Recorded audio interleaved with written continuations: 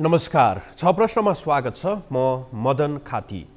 दर्शकबिन नेकपा माओवादी केन्द्रको स्थायी कमिटी बैठक चलिराखेको छ र उक्त बैठकमा अहिले नेतृत्वको विकल्पबारे पनि बहस चलिराखेको छ। मुख्य गरी त पछिल्लो समय माओवादी केन्द्रकै उपमहासचिव जनार्दन शर्माले नेतृत्वकै विषयमा भनेर लिखित रूपमा एउटा दस्तावेज सार्वजनिक गरिसकेपछि यति बेला माओवादीभित्र प्रचण्ड दबावमा परेको भनेर बताइएको छ। अर्कोतर्फ माओवादीभित्र यस्तो खालको जुन वातावरण विकसित भइराखेको छ त्योभन्दा अघिदेखि नै बाहिर फेरि प्रचण्ड र माओवादी केन्द्रलाई त्यो एक्लाउनको लागि कङ्ग्रेस एमाले जसरी अगाडि बढिराखेका छन् र संविधान संशोधन कै विषयमा पनि अहिले बहस चल्दै गर्दाखेरि संविधान संशोधन कङ्ग्रेस र एमालेलाई थप मजबुत बनाउने र अर्कोतर्फ चाहिँ साना राजनैतिक दललाई थप कमजोर बनाउने त्यो अभिप्रायसहित हुँदै गरेको भन्ने कोणबाट पनि चर्चा चलिराखेको छ। आज हामी यिनै विकसित घटनाक्रमले माओवादी केन्द्र र प्रचण्ड अहिले के गर्दैछन् अथवा उनको अबको राजनीतिक यात्रा कतिको सकसपूर्ण छ यिनै प्रश्नको जवाब खोज्ने प्रयास गर्नेछौँ र यसको लागि आज हामीले स्टुडियोमा आमन्त्रण गरेका छौँ राजनीतिक विश्लेषक डक्टर विजय मिश्रलाई। यसलाई कार्यक्रममा स्वागत छ। अहिले प्रचण्डकै विकल्पको विषयमा पनि जसरी बहस चलिराखेको छ यद्यपि उहाँले फेरि हिजोको माओवादी केन्द्रकै बैठकपछि पनि त्यहाँको प्रवक्ताले र उहाँ आफूले पनि उहाँले पनि जे कुरा बताउनु भयो कि यस त्यति ठुलो कुरा होइन यो अहिले आइराख्या भन्ने कोणबाट मात्रै फेरि त्यो सामान्य रूपमा आइराख्या जस्तो देखिन्छ। यहाँले चाहिँ यो नेतृत्वको विषयलाई लिएर माओवादी केन्द्रभित्र जुन कुराहरू चलिराखेको छ यो एउटा नियमितता जस्तो लाग्छ कि यसमा यसले पछिसम्म एउटा दीर्घकालसम्म के असर पार्न सक्ने देख्नुहुन्छ एउटै मानिस पटक पटक भएको अथवा लामो समयसम्म अध्यक्ष भएर बसेको कारणले गर्दाखेरि उहाँले त्यो ठाउँ छोड्नुभयो भने अर्कोलाई जिम्मा लगाउनु भयो भने उहाँको इज्जत रहन्छ भन्ने कुरा छ यहाँनिर मुख्य कुरा। किनभनेदेखि उहाँले त्यसलाई फाइदा नाफा घाटा नाफामा हेर्नुहुन्छ नि त। अब हिटलर प्रवृत्ति नै हो भने त हिटलर आफू सँगसँगै पार्टी पनि ध्वस्त गरेर गए। अब उहाँ हिटलर बन्ने हो कि अथवा अहिलेसम्म गरेको उहाँले उहाँकै पालामा पार्टी ध्वस्त भयो भने अथवा पार्टी खतम भएर गयो भने त प्रचण्डजीले के गरे माओवाद भने पछि खाओवाद सुनवाद हुँदा हुँदै पार्टीलाई सानो बनाएर अब उनको चाहिँ त्यहाँनिर पतन भएर गयो भन्ने इतिहास बन्यो भने त उनको सबै त्यो प्रचण्ड भनेर जुन भन्छन् जुन अहिले पनि हिङ नभए पनि हिङमालेको टालोको रूपमा मान्छेले व्याख्या गर्दैछन् त्यो सबै खेर जान्छ। त्यसले गर्दाखेरि उहाँले जुन किसिमले जनार्दन शर्माजीले उठाइरहनु भएको छ अथवा वर्षमान पुनले उठाइरहनु भएको छ अथवा ओमसरी घरती मगरले जुन किसिमले एउटा महिला भए पनि उहाँले जुन किसिमको दुखेसु पोख्नु भएको छ पार्टी कार्यालयभित्र अथवा त्यो छलफलमा ती सबैलाई विश्लेषण गर्दा के देखिन्छ भने प्रचण्डज्यूको विकल्प साथीहरूले मात्रै खोजेका होइन ती तिनजनाले मात्रै खोजेको होइन सिङ्गो जिल्ला जिल्लामा गाउँ गाउँमा अब विकल्प दिनुपर्छ भन्ने कुरा माओवादीभित्रै छलफल भइरहेको छ। त त्यसको सुरुवात हिजो आज मात्रै भएको होइन। त्यसको सुरुवात तपाईँले उहाँको एकजना प्रधानमन्त्री हुँदैखेरि माओवादीको एकजना राम्रो घिउ मान्छे भन्छु क्या म उसलाई चाहिँ एकजना गजुलजी हुन्थ्यो होइन? जो चाहिँ उहाँको प्रमुख सल्लाहकारको रूपमै रहनु भएको थियो नि। सिन्धुलीको अँ सिन्धुलीको हुन्थ्यो। उहाँले राजीनामा दिनुभयो उहाँको राजीनामा स्वीकृति गर्न पनि लामो समय लगाइयो। त्यो भित्रको जुन खटपट छ नि त्यहाँदेखिको किन छोरीले गरेको हालिमुहालीले छोरीले पार्टीको भन्न अलिकति क्याडरहरूलाई अथवा पुरानो अवस्थामा जब सङ्कटमा थिए जतिखेर प्रचण्डको टाउको मूल्य तोकिएको थियो त्यतिखेर प्रचण्डलाई साथ दिने साथीहरूलाई छोरीकै कारणले गर्दाखेरि पाखा लगाउन खोजेको देखिसकेपछि उनले यसरी भएन। किनभने उहाँको सर्त के थियो उहाँसँग पछि उहाँले कुरा गरेर मिडिया पनि ल्याउनु किन त भन्दाखेरि हामी सरकारमा जाने तर भ्रष्टाचारीहरूलाई चाहिँ ड्याङ ड्याङ हान्ने हो। हान्दाखेरि यदि उनीहरूले तपाईँलाई अवरोध गर्यो भने हामीलाई हान्न दिएनन् भनेर राजीनामा दिएर प्रधानमन्त्री राजीनामा दिएर जनताको माझ जाने भनेर सहमति भएर उनी प्रधानमन्त्री गएको रहेछन् प्रचण्ड। त्यो चाहिँ पार्टीभित्र सहमति भएको। तर अब उसले के गर्ने? एनसेलकोसँग पनि वार्ता गर्ने उता पनि कहाँ कहाँ पैसा आउनेछ कमिसन आउनेछ त्यो प्रधानमन्त्रीको हैसियतले पाउने कमिसनहरू चाहिँ सबैमा ऱ्याल चुहाउनु थालिसकेपछि राम राम राम के गरेको तपाईँले? हामीले प्रचण्ड यत्रो ठाउँमा लगाएर राखिदिएको छौँ। हामी यो कल्पना पनि गर्न सक्छौँ यसरी घुस खाने कुरा। तपाईँको त छोरी मार्फत तपाईँ मार्फत सबै गइरहेको छ नि त। यो रोक्नुहोस् भनेर उसले सुरु गरे तर उनको बोली सानो भएर गयो। मान्छेले के के स्वार्थ बनायो उनलाई त्यो बिलाएर गयो। तर त्यो भुसभुसे आगो हुँदै हुँदै हुँदै के गयो भने लास्टमा तपाईँले त भन्नु प्रवक्ताले यसो भन्यो भने। प्रवक्ताले राखेको त्यसको लागि त भने उसको पर्छ। अहिले अहिले अहिले जे देखिराखेको छ नि जस्तो मोहन वैद्य माओवादी विगतकै हेर्दाखेरि पनि शान्ति प्रक्रियापछि मात्रै हेऱ्यो भने पनि मोहन वैद्य र डक्टर बाबुराम भट्टराई एउटा त्यो प्रतिस्पर्धीको रूपमा बेला बेलामा प्रचण्डलाई चाहिँ चुनौती दिन सक्नेको रूपमा हेरिन्थ्यो। उहाँहरू बाहिरिसकेपछि चाहिँ माओवादी केन्द्रभित्र एक छत्र जस्तो प्रचण्डले जे भन्यो माओवादीको पर्यायवाची नै प्रचण्ड जस्तो पनि देखिएको थियो। तर पछिल्लो समय जे आइराखेको छ नि यसको कुनै त्यो वैचारिक सैद्धान्तिक आधार देख्नुहुन्छ कि? होइन प्रचण्डले चाहिँ अब छत्तिस वर्षदेखि निरन्तर पार्टीमा नेतृत्व गरिराख्नु भएको छ। उहाँले मात्रै किन? हामी पनि हुनु पर्यो भन्ने मात्रै देख्नुहुन्छ। प्रचण्डकै कारणले माओवादको साम्यवादी हो नि त उनीहरू त। माओवाद भन्ने बित्तिकै त्यो संसदीय व्यवस्था मान्ने त शक्ति त्यो होइन। होइन? कागजमा त्यो पहिले होइन पहिले सुरुमा त्यो दस वर्ष हुँदा गरेको साम्यवाद मान्छु माओले गरेको सिद्धान्तलाई मान्छु भनेर हिँडेपछि नै ती सबै क्याडरहरू त्यहाँ मिलेर- मिलेर एक भएका। तर उनले संसदीय व्यवस्थामा जाने भएपछि पार्टीभित्र ठुलो बहस भएको थियो। पहिले हेर्नु संविधानको जारी गर्ने बेलामै यो के गरेको प्रचण्ड चाहिँ तपाईँले? हामी त्यसको लागि यहाँ आएको हो र अझै मर्छन् भने मर्छन् तर हामी चाहिँ साम्यवाद ल्याएर छोड्छौँ भन्ने जसलाई हुटुटी थियो उनीहरूले ऱ्याख ऱ्याख पारेको थियो। त्यतिखेर उसले के भनिरहेको छ प्रथमले त्यतिखेर जवाफ उनीहरूलाई के दिएको थियो भनेदेखि हेर्नुहोस् हामीले जङ्गलबाट मात्रै ल्याउन सक्ने रहेन अवस्था छैन। किन भौगोलिक स्थिति यस्तो छ विदेशीहरूको प्रभाव यस्तो छ। हामी संसदमा प्रवेश गरौँ यसलाई युज गर्ने हो। संसदीय व्यवस्थालाई युज गरेर संसदीय व्यवस्थालाई बदनाम गरेर लास्टमा हामी जाने वैज्ञानिक समाजवादमै हो। यसमा म तपाईँलाई ग्यारेन्टी दिन्छु भनेर उसले चाहिँ भनौँ न अब ला ल्याब चाहिँ नलगाए पनि प्रतिबद्धता जाहेर गरेपछि ल त्यसो भए थौडी बजार ल। है यो चाहिँ हामीले युज मात्रै गर्ने भनेर भनेर गएको।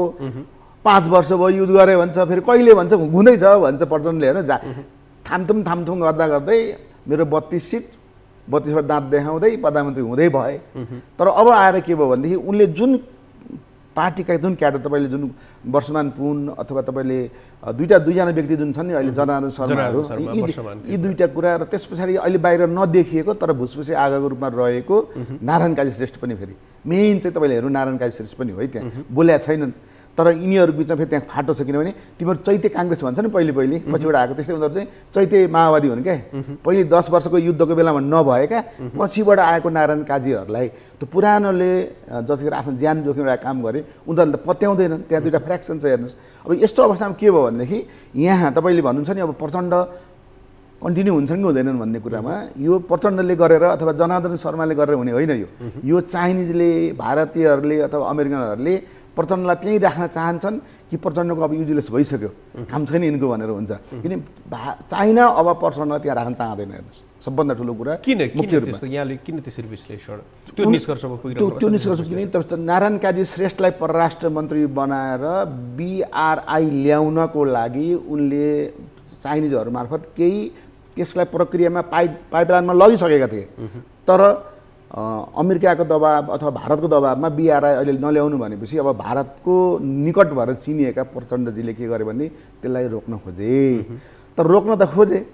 रोक्न खोजेपछि चिन रिसायो। तर चिनलाई के भनेर फकायो भने किन छप- छेपा र प्रवृत्ति भन्छ नि त हामीहरू। चिनलाई अथवा नारायण काजी श्रेष्ठलाई के भनेर फकायो फकायो भनेदेखि दुईवटा रोल खेल्यो क्या अहिले नै हामीले यो गऱ्यो भने हामी फेरि अप्ठ्यारोमा पर्छौँ किन?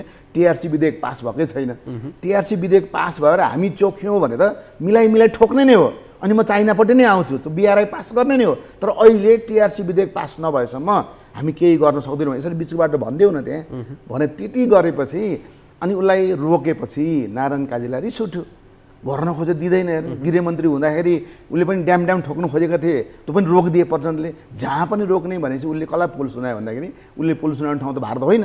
नारायण गाजीले पुल सुनाउने त चाइना हो। त्यसले गर्दा चाइनाले के सोच्यो भनेदेखि धट अब यो पार्टीभित्र माओवाद पार्टीभित्र प्रचण्डलाई राखिरह्यो भने प्रचण्डलाई त भारतले ज्वाइँ जस्तो पालेको। भारतले बिआरआई यहाँनिर हुन दिँदैन।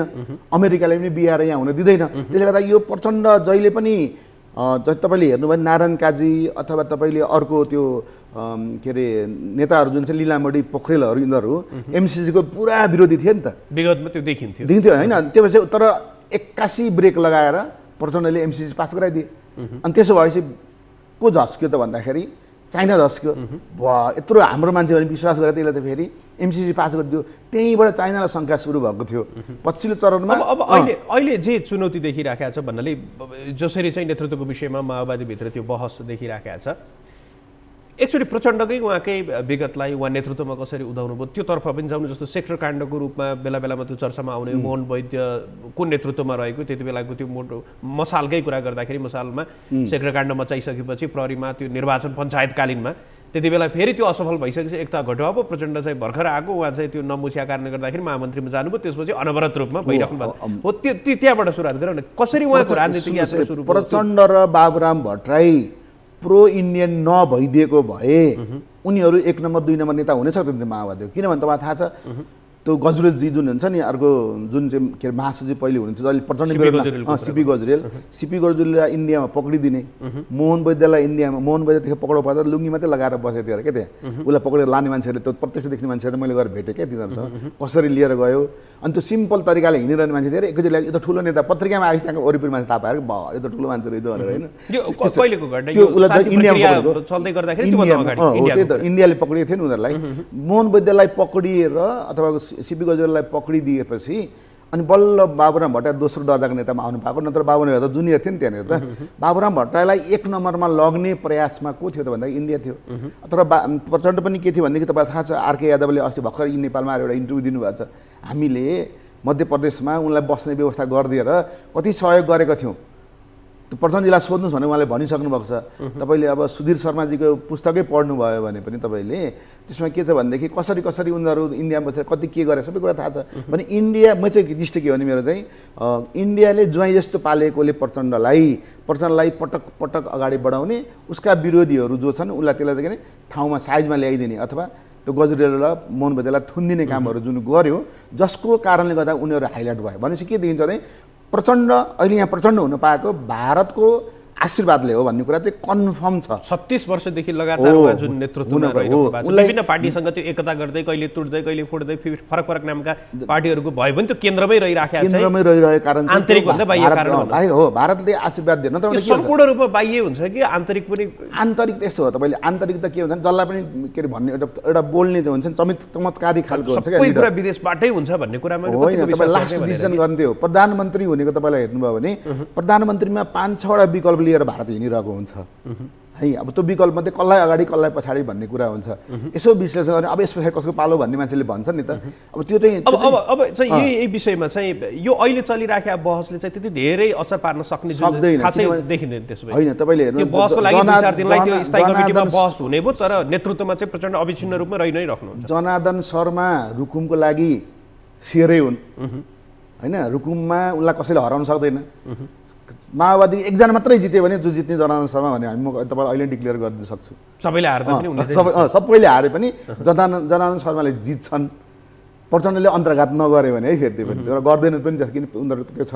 तर प्रचण्ड आफै गोर्खा रूपी बङ्गमा गएर उठ्नु परेको स्थिति भएको थिएन हेर्नु त। अनि प्रचण्डको जनाधार भन्दा त एउटा ठाउँ कहाँ छ त प्रचण्ड? कहीँ छैन यहाँ भागेको उता घरि उता घरि उता गरेर अर्काको बुइँ चढेर बाबुराम भट्टराईको बुइँ चढेर गएर त्यहाँ जिते होइन र? बाबुराम भट्टराई र काङ्ग्रेसको बुइँ चढेर जितेको होइन त्यहाँनिर गोर्खामा? थाहा छ नि सबैलाई। त्यसैले गर्दा चितवनमा त जनाधार त उहाँको टुटिसक्यो। भनेपछि तर जनार्दन शर्माले आफ्नो आधार बनाइरहेको छन्। वर्षमान पुनले पनि आफ्नो आधार त्यहाँ बनाइरहेको छन्। यी कारणहरूले गर्दाखेरि उनीहरू हामीले हेर्दा हो तर देशभरिको मामला हेर्ने हो भने फेरि प्रचण्डलाई अहिले डगमगाउनु मान्छेले सक्दैनन्। त्यसले गर्दा तपाईँले किन किन सक्दैनन् भन्दाखेरि न यदि सबै जनार्दन शर्मा प्रो भारतीय भइदिएको भए प्रो अमेरिकन भइदिएको भए ला अब यहाँ चलखेल हुन्छ यिनी हर्थे प्रचण्ड भन्नु लाग्छ। प्रचण्डले जुन गाडीमा चढ्ने बेलामा हिजो जुन बोले नि प्रस्ताव आए पनि यो सबै मिल्छ। यो के अरे सामान्य भन्छ तपाईँलाई टेन्सन छ हामीलाई छैन भन्ने कुरा जुन गऱ्यो नि एकदम राइट भयो। किनभने मेरो दाहिना छँदैछ यता पनि छ उता पनि छ। लास्टमा गएर कुरा गरौँला प्रधानमन्त्री त हटायो हटायो। मलाई पार्टी अध्यक्ष पनि हटाउनु खोजे हो भने करायो भने त ल ल भयो भनिहाल्छ नि। तपाईँले हेर्नुहोस् त। त्यो अहिले एक एक- एकताको कुरा पनि बेला बेलामा त्यो चर्चामा आइराखेका सुनिन्छ। जति बेला त्यो पार्टीभित्रको अन्तर्विरोध कुरा गर्दै गर्दाखेरि चाहिँ होइन वामपन्थी एकतातर्फ अब जाने कम्युनिस्ट एकतातर्फ एकता एकपटक एकता गरेर एमालेसँग गएर फुटिसकेपछि फुटेको सिसालाई फेरि जोडेर कहिले जुट्छ? भन्नुहोस् त्यसबाट के छ भने नेकपा त भयो। दुईटाइ पनि पुग्यो। तर त्यो पार्टी तिन टुक्रा भयो देखिहाल्नु हो तपाईँले। हुँदा हुँदा आफ्नो माओवादीको क्याडर पनि चोरेर लगे एमाले। बादलहरूलाई ककला लिएर गयो नि तपाईँले हेर्नुभयो त्यसमा तर अब के देखिन्छ भने अझै एमालेको केही क्याडरहरू चोरी हुँदैछ। के अरे उसको माओवादीको केही क्याडरहरू यदि उनले अझ यसरी नै पेलेर आफूले नेतृत्व छोडेनन् भनेदेखि केही मान्छेहरू अब यो होइन यो पार्टी अब ऊ हुन्ला भनेर बरु जाउँ एमालेमा भनेर फेरि केही मान्छेहरू जान सक्छन्। होइन त्यो त्यो पनि सम्भावनाहरू छ। जस्तै तपाईँले माधव कुमार नेपाललाई ल्याएर माओवादीले पार्टी एकीकरण गर्यो भने नारायण क्याजी श्रेष्ठ त्योभित्र अटाउन सक्दैन। नारायण काजी श्रेष्ठले कि आफ्नो छुट्टै पार्टी खोल्नुपर्ने हुन्छ कि एमालेसँग मिलेर गएर त्यहाँनिर फेरि जसरी पहिले माओवादीसँग मिल्न किन-? उनीहरूको व्यक्तिगत छ इगो हुन्छ नि कहिलेकाहीँ एक व्यक्तिगत इगोहरू हुन्छ नि त। त्यस्तो भएपछि तपाईँले गर्नु हो तपाईँले देख्नुभयो विप्लवजी आउनुभयो भने विप्लवजी राम्रो व्यक्ति हो म विप- विप्लवजी किन एउटा सिद्धान्तमा अडिग भएर बसेकोलाई मैले त्यसलाई चाहिँ अँ, जतिसक्दो भयो नि प्रशंसा गर्छु क्या। कम्युनिस्ट हो भने त मोहन बद्देलाई हेर्नुहोस् भने मान्छे नभएर के गर्नु? तर सिद्धान्त बोकेर बसिरहेछन्। होइन तपाईँले थोरै भए पनि भक्तपुरको नारायणमा विद्युतले आफ्नो सिद्धान्त आ उ त बचाएर राखेको छ इमेज बचाएर राखेको छन् तर प्रचण्ड त कथाको हो कथाको हो। सिद्धान्त के हो के हो थाहा छैन। किन? जुन सिद्धान्तले प्रधानमन्त्री बनाइदिन्छ एनी हाउ सत्तामा जाऊ पैसा कमाऊ रमाऊ भन्ने सिद्धान्तमा गइसकेको कम्युनिस्ट अब बाँच्छ त्यसको सिद्धान्त हुन्छ। त्यो त के भन्छ हामी त्यसलाई शब्द त्यस्तो त भन्न मिल्दैन। किनभने सबैभन्दा गएको कबाडीमा लगेर थन्काउनु पर्ने यति बेला पालो विश्रामको भएको छ विश्रामपछि हामी यो संवादलाई निरन्तरता दिनेछौँ।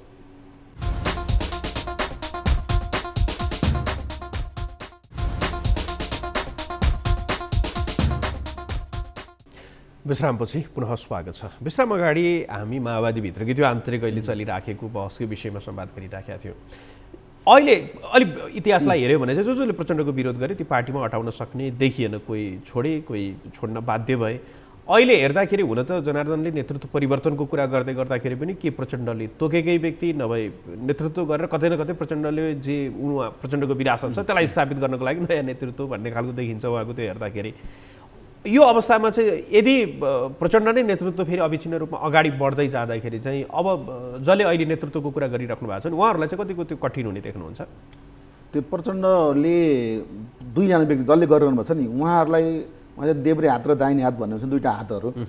दुईवटा हात भने चाहिँ कहिलेकाहीँ के भन्छ भने त्यो वर्षमान पुन त त्यही पनि हात नै हुन् तर दाहिने हात भन्दा पनि भयो।